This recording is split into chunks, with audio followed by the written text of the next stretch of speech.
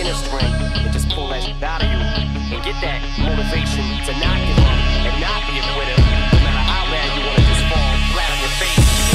Till I collapse, I'm spilling these raps long as you feel them. To the day that I drop, you'll never say that I'm not killing them. Cause when I am not, then I'ma stop pinning them. And I am not hip hop, and I'm just not.